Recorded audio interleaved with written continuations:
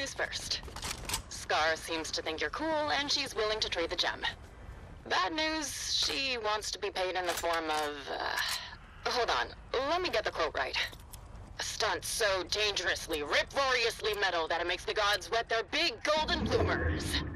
So, um, uh, wear a seatbelt, I guess?